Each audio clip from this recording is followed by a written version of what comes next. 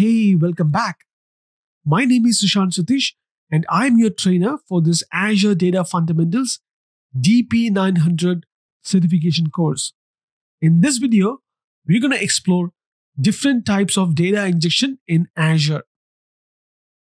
In this lesson, we will learn about how to describe data ingestion in Azure, describe components of Azure Data Factory, and see how to use Azure Data Factory to load data into a data warehouse.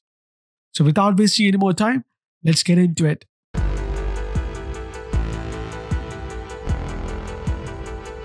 Data ingestion is the first part of any data warehousing solution.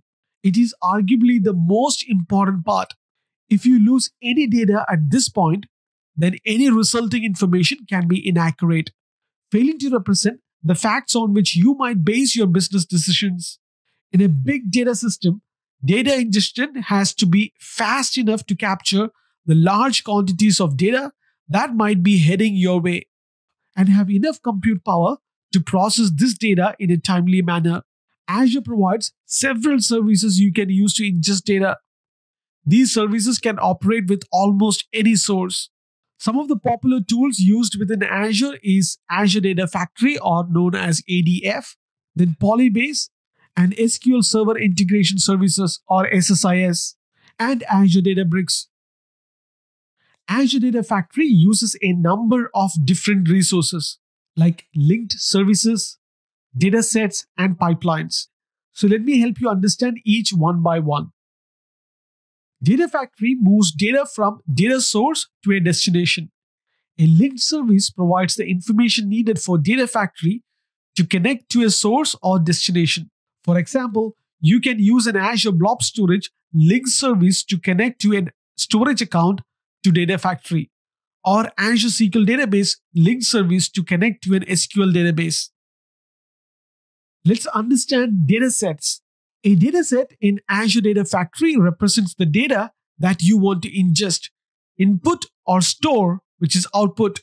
If your data has a structure, a dataset specifies how the data is structured. Not all data sets are structured.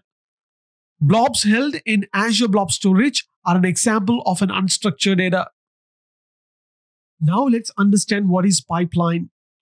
A pipeline is a logical grouping activity that together perform a task. The activities in a pipeline define actions to perform on your data. For example, you might use a copy activity to transform data from a source dataset to a destination dataset.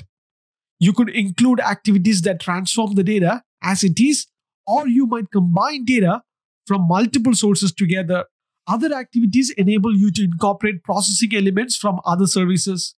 For example, you might use an Azure function activity to run an Azure function to modify and filter data, or Azure Databricks notebook activity to run a notebook that performs more advanced processing.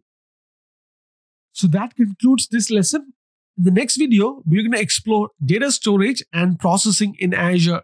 So I will see you in the next video. Till then, take care.